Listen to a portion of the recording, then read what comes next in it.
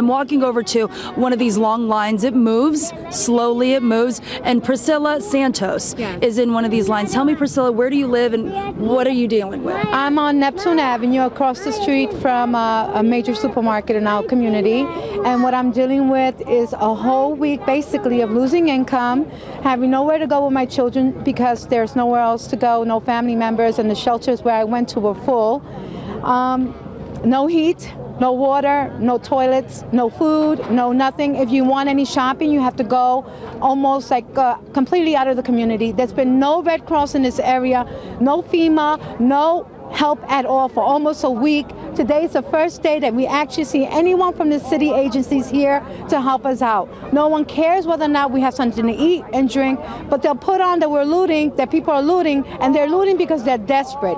There's no food, there's no running water that you can go to. Landlords are not doing what they're supposed to do to clean up. We're not getting any type of services. I'm very involved in my community. I'm a working person, I'm a taxpayer. I'm getting tired of being treated like I don't exist. Priscilla on Neptune Avenue. Are you still staying in your home? Or are you staying? I'm staying in my home, unfortunately, with my two small children. We have nothing in the refrigerator. Every day I have to pay our car service who are charging us double the price just to come out of the community just to get something to eat.